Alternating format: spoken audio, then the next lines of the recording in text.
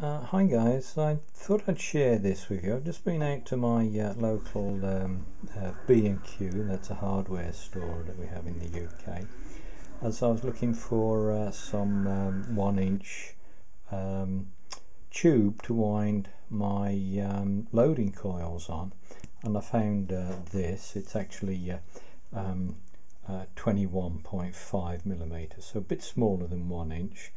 Um, one inch is 25.4 millimeters but uh, I think that's near enough uh, just so people could reproduce uh, what I'm going to do. But while I was there I found these and um, this is uh, two aluminium tubes there. So the uh, the larger one there it's upside down that's uh, um, 12 millimeters by 1 millimeter. uh, one millimeter wall and the little tube is uh, also upside down sorry about that um, 8 millimeters by 1 millimeter. And I found mm, sorry uh, I also found this. This is a, a plastic tube and this is uh, 1 millimeter uh, sorry this is uh, 10 millimeters by 1.2 millimeters now in actual fact it's out of spec and it's a little bit thin but it's very interesting.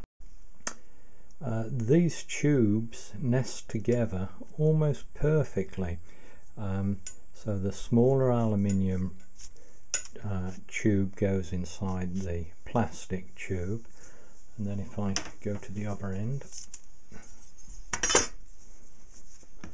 then the uh, the plastic tube fits inside uh, that larger one. So in terms of making a gamma match capacitor, these are very useful materials with uh, a little bit of um, uh, sort of water pump grease on there to exclude any moisture.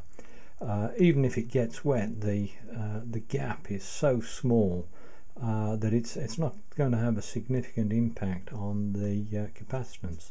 So I'm just going to do a check and see uh, how many picofarads per inch I get. Um, but what I'm currently playing with, I'm looking for 20 picofarads or thereabouts. So uh, I'll just measure that up and uh, see uh, see what it's good for. I've cut 10 inches of the plastic tube and I've just put a bit of tape on there. So that's uh, obviously I'll put the plastic tube over the thinner rod. And then um, I've marked that off in inches along here. And uh, I'll put that inside the larger tube. So uh, I'm going to engage uh, about 10 inches of that. No I'll engage exactly 10 inches. And um, I'll measure the uh, uh, the capacitance okay. Uh, with the assembly on the bridge uh, it's telling me that I've got um, for the 10 inches of engagement I've got uh, 140 picofarads so it looks like around 14 picofarads per inch. I'll try it at a different value okay I've got uh, 5 inches of engagement so the the rod is pushed into uh, the, uh, the, the outer tube by 5 inches. And uh, now I've got a, a reading of um, uh, 0.07 times a thousand. So that's 70 picofarads so my 70 picofarads divided by 5 inches again gives me 14 picofarads per inch.